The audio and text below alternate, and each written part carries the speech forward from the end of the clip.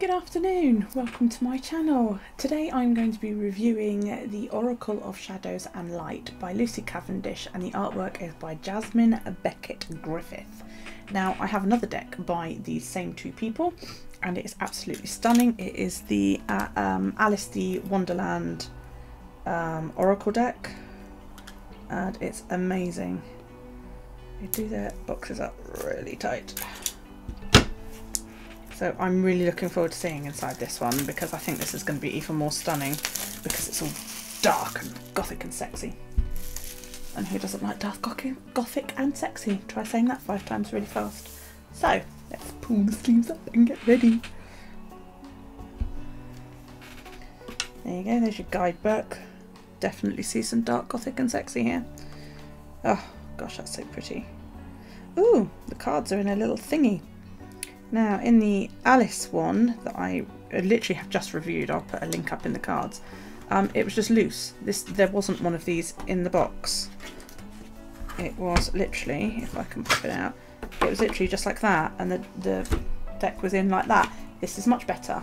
This is more cushioned and it makes it easier to store the deck when um, it's not being used because I can just put the cards back in here. It's got a paper thing, whereas the Alice one had a plastic one. It's just got a paper wrap on it, which is quite nice. I know that they're both brand new because they were both cellophane wrapped when I got them. The only thing is the paper one doesn't, well it's more, more of a cardstock than a, come on, come out. I'm one of those people, I don't want to rip it. I know, I know.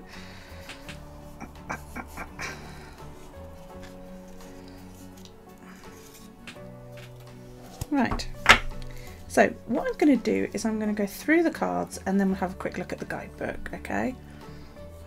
So, card number one, got the number at the top. You've got, I suppose, the title of the card, if you like, and then underneath a little sort of hint as to what it may be. There's quite, uh, there's moon phases across the top by the look of things, or it might literally just be circles yeah, I think it's just circles, but it does look, and it goes all the way around, it does sort of at a glance look like moon phases. It's quite awesome.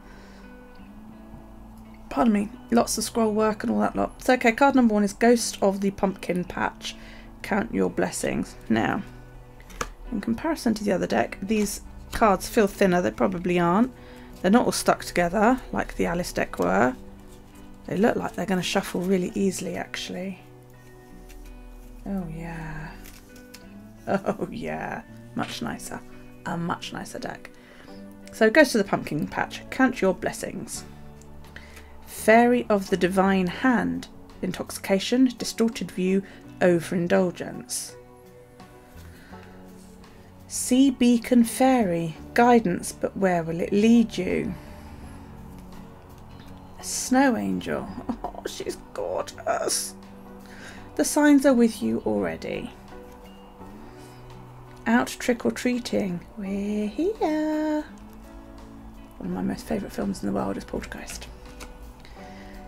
Autumn is my last chance. Please don't lose hope.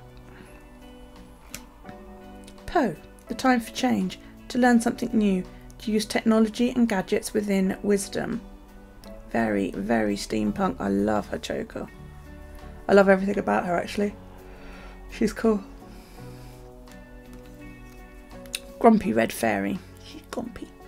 Be your true self. So it's okay to be grumpy, is what they're saying. Three Witchy Sisters, the power of three. Eclipse Mermaid, a powerful energy shift. Dried Flower Fairy, sweet memories. Winged Seer, you see clearly, clairvoyance. I am Kali, from death comes rebirth. Mary masquerade, glamour, intrigue, drama.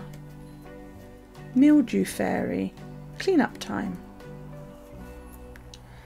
Angel de los Muertos transitions to the spirit realm. I really hope I didn't like totally fuck that up when I said that. Strangely lonely, holding on way too tight. The Violet Duchess, stifled, bored, and stuck. Amara the Menehune. I have no idea what that word means. Uh, Aloha hearing. Fairy of the Highlands. It's time to be brave. Angel of Alchemy. Miracle. Voodoo in blue. Back off. Violet Angel. That's another stunning card. Breaking Dawn. Lantern Fairy. A clear solution. Sewer Mermaid. Your sensuality is beautiful. The Three Fates. What comes around? Strange Valentine. Love is strange. Death and the Maiden. Invasion. Boundaries violated. Dominance. A shallow grave. You miss somebody. Two little witches. Magical space clearing time. Lady with a Bosch egg. Ancient wisdom. A little eye poking out. I don't know if you can see that very well. Sea storm. Calm amid chaos. Dress of alchemy. Release your power. Faceless ghosts and the haunted girl. Ghost people. Storm angel. Ah, that's the one they use on the covers. Collision of beliefs, styles, attitudes, and energies. Mend a broken heart fairy, healing from heartache. Candy cane angel, it's time for a treat. Carnivorous flower fairy, a tempting offer has a high price. A clockwork pumpkin, a wonderful idea, the aha moment. Excuse me, I yawn when I read things out for some reason. Angel of time, you're working too hard. That's pretty. Nautilus Princess, powerful personal growth. Ghosts of the past, the past returns for a time. Pink Lotus Fairy, a time for spirit. Fairy of the green world, the natural world needs you. And Witch at the end of the world, an important end, a new beginning. Hmm. So, the guidebook. Just leave those there for a moment so you can see them. So it tells you, you know, the, the, the usual There's an acknowledgements page, contents page, pages, introduction, um,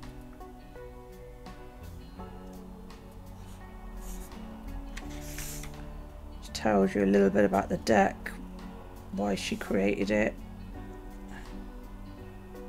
The oracle embraces those of you who have long felt you have no home. This oracle seeks out the strangelings, the in-betweens, who've seen it all and now wish to share their wisdom with you.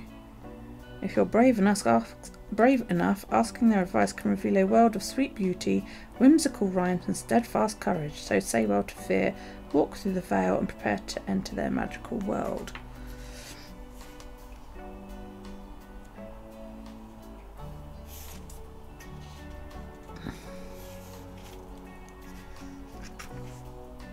Um, so there's, quite a lot of reading to do in this. Okay, she tells you about the beings within the deck.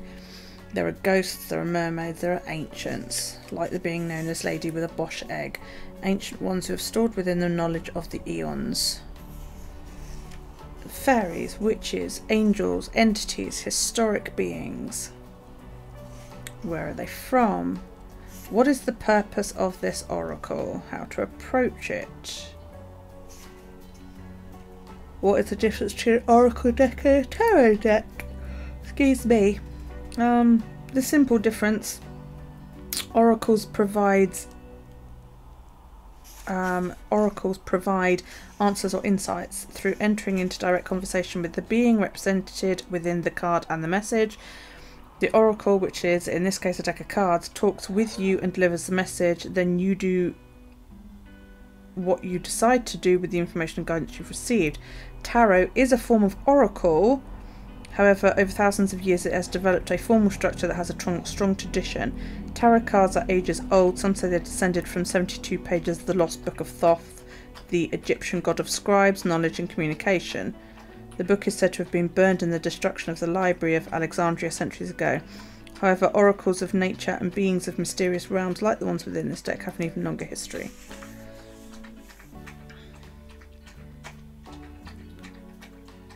So yeah, it's um, says about using using it, um, some spreads, a simple Celtic cross, hidden and revealed spread, the Star of Love spread, the Solve a Problem spread.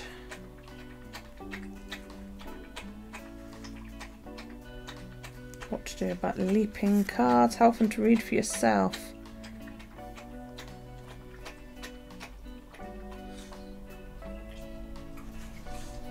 And then it tells you about the card meanings. Okay, let's let's do that first one, the Ghost of the Pumpkin Patch. Message, count your blessings. This adorable and flawed little figure is almost transparent, so still and quiet that you may overlook her, thinking you have just seen a wisp of mist, mist go trailing past, when really all the time this little ghost is silently standing before you, gently reminding you of something very important that it soon will be time to harvest again, and the ghosts of the harvest missed in the past will come back to haunt you if you do not take your time and look around right now at all that is. She is not invisible, and she is always there, a reminder that the seasons turn, that the harvest must be brought in, and those who stay with the earth a while are not always here to haunt you negatively. They are here to help you till their work is done. This little ghost loves her misty home, adores appearing to you when you have forgotten your blessings and your rights, and appears at exactly the right time in your life when you've nearly forgotten how lucky you are. The ghost of the pumpkin patch speaks. Something that is a blessing is being overlooked. It appears cloaked and almost seems almost invisible to you. You must stand in your field, that is to say your life, and look around you and see all that has been given to you again and give thanks for it. You are forgetting how much you truly have and how much you will have again and again. My time is the harvest. It is now your time to bring in or harvest the joy and love of what you have so much of and share your abundance. So the divination message, something precious is all about you, but it has become so familiar you can barely see it anymore. It is such a fixture in your life that familiarity has bred, if not contempt, a kind of blindness. The beautiful little girl ghost in the pumpkin patch asks you, very gently, to see the abundance all around you and to appreciate that while you are in physical form, there is so much you can enjoy. She wishes for you to harvest what is yours now and to also take steps to call in any debts there can be outstanding money issues associated with this card, and share the bounty. Do not let anyone cheat you, and know that you don't own a single thing in truth. It will all pass through your hands, but still, ironically, these things you have earned through your hard work are worth protecting. They are not too small, they are not too ordinary. You have more material wealth than you think, so please do count your blessings every day. Right. It does go on to the next card. So there is no reverse meanings in these cards, which is quite cool. I don't tend to do reverse meanings, I must admit. Um, it tells you a little bit about Lucy Cavendish, her web address, and about the artist, and that's it. So, my thoughts. Well, it's a nice deck. Not as another as I was hoping I would be. Um, I actually prefer the Alice deck. That one I really, really loved. Um, I love the artwork in this, but there was more at the bottom of each deck. I suspect I will love this the more I more I use it, quite frankly. Some I mean some of the pictures are, are fab on this. You know. Um, my only my only bugbear with and this is with all Oracle decks, not just they're so big. I get why, you know, because it's it's to fill it up with gorgeous artwork. But yeah, I'd be quite happy with a deck half the size. Give me a little deck. That'd be perfect for me. I have little hands. And the stupid thing is, so does the lady who created the deck. Lucy Cavendish is a witch, and she actually states in a couple of her books that she has quite small hands, and she recommends you shuffle that way because you'll have trouble holding the deck that way. And I do. You know, I can't get hold of it properly. So I don't get why they make them so big. I would I, I could cope with a deck half the size of that quite happily. You know. Doesn't have to be very big, does it? I don't know why they make them so big. I'm just trying to find something that would be appropriate. See a Project Life type card. That would that would be ideal. so, mm, I don't know. I don't love it as much as the Alice deck, which is a real shame because I've been after this longer than I was after the Alice deck. But it is a gorgeous, gorgeous deck. So I will use it, and I will be happy to use it because it's sent to me in some happy mail. Um, it's about an 8 out of 10. The cards aren't sticky, which the Alice deck was. Um, so yeah, it gets better points for that, but it does lose the points because it just doesn't speak to me as much. So there you go. Um, I hope you enjoyed this quick review. Thank you so much for joining me.